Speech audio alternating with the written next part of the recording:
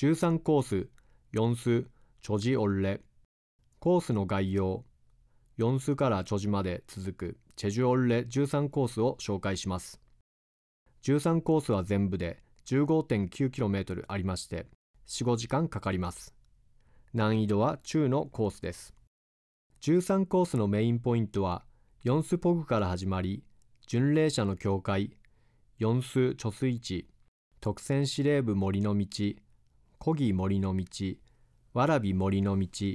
ナクチョンリ椅子の公園ナクチョン松の実の道ヨンソンタルリムルトン裏の丘アリラン道チョジオルムを経てチョジ芸術情報家村で終わります。13コースは海沿いから内陸に向かう中山間森の道オルレです。海が見えるのはスタート地点であるヨンスポグを出るとすぐに山の中へ入ることになりますさて四方に広がる長い畑道へと出発しましょうかバス停があるヨンス交差点を渡ると巡礼者の教会が見えてきます巡礼者の教会はおそらく世界で最も小さな教会でしょう。13コースができた後、オルレを歩く人のために作られた教会です。教会を通り、緩やかな上り坂の舗装道路を歩いていくと、四数貯水池の堤防に着きます。堤防の上の草道で貯水池を一回りゆっくり回ってみると、期待以上の風景を眺めることができると思います。ヨンス貯水池は1957年の堤防を築いて作った人工貯水池です。松林、芦やガマの原っぱ、昔田んぼだった湿地などが貯水池と一体となり、この一帯に広々とした美しい雰囲気が作り出されました。冬には渡り鳥が訪れ、冬を過ごす場所でもあります。貯水池周辺にある昔田んぼであった湿地は、さまざまな動植物が育つ湿地生態系の宝庫です。四巣貯水池を十分に見てきましたら、静かな山中の畑道に沿って森の道のオルレが待っています。森の道のオルレを始める前に、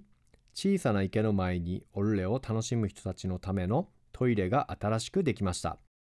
ナクチョンリの村までトイレがないので、ここでトイレを済ましておきましょう。13コースの真の姿は特選司令部森の道から本格的に始まります人々の行き来がしばらく途絶えていたため道がなくなってしまいましたが特選司令部の隊員たちが復元し整備して再び森の道を作ったそうです。さて森の中の道に沿って歩いてみましょう。約 3km ほど個性あふれる森がずっと続きます。さあ森の道を抜け出て舗装道路に沿って歩いて13コース中盤のナクチョンリ・アホッグ村に到着します。チェジュの言葉でグッというのは泉という意味ですが、ナクチョンリ・アホッグ村は韓国語で9つという意味のアホ、それと泉を合わせてナクチョンリ・アホッグ村です。ナクチョンリの村には村の人々が自分で作った椅子の公園があります。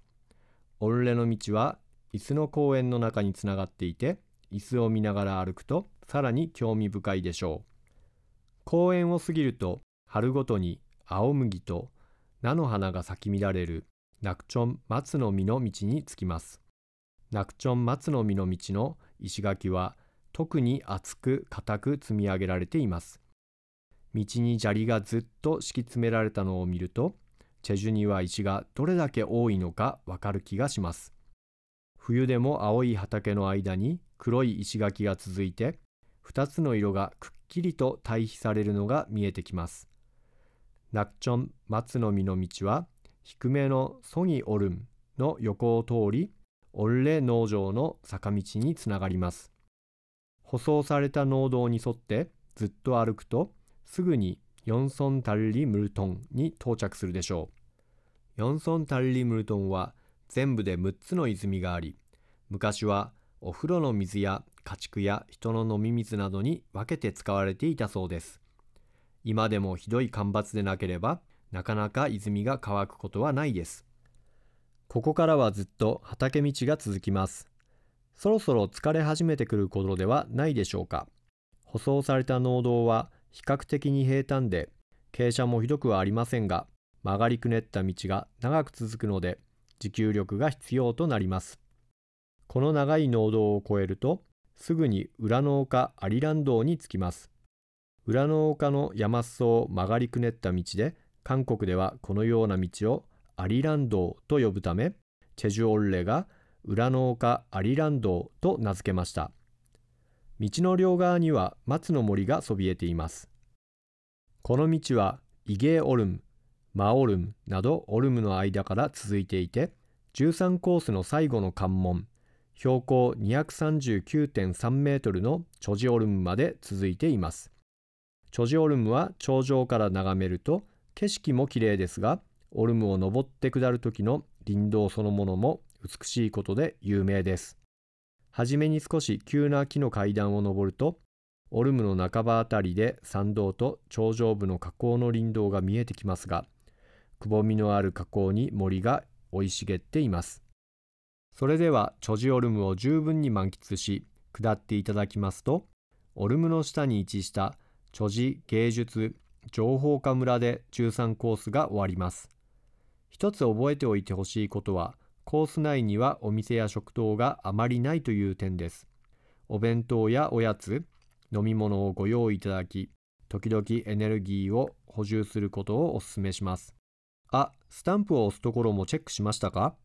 スタンプを押せるところは、スタート地点であるヨンスポグチョルブアムと中間地点のナクチョンリー・イスの公園、フィニッシュ地点のチョジ芸術情報化村にありますので、忘れずに思い出に残るスタンプを集めてください。